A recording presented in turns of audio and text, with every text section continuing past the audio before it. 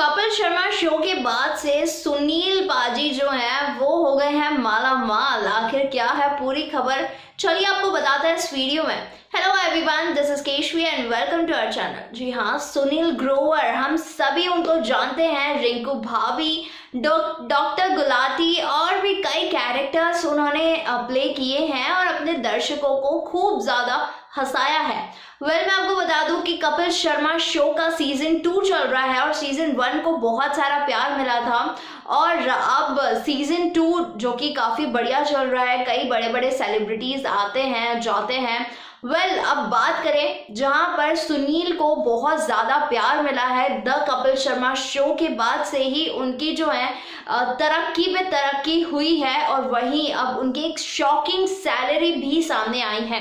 दरअसल जब वो कपिल शर्मा शो में थे तो पर डे का वो ten to twelve lakhs per day जो है वो अर्न करते थे। यानी कि दो तीन दिन अगर उन्होंने शूट किया है तो वो 40 लाख जो है वो घर लेकर जाते ही थे।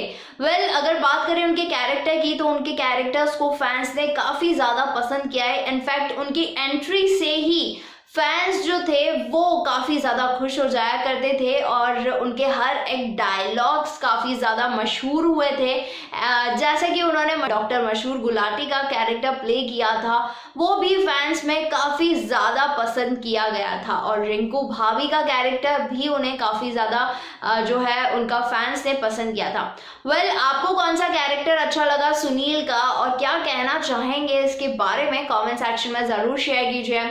Bigg Boss plus television plus Bollywood से रिलेटेड तमाम अपडेट्स के लिए बने रहिए हमारे साथ, यानी हमारे चैनल पर। Thanks for watching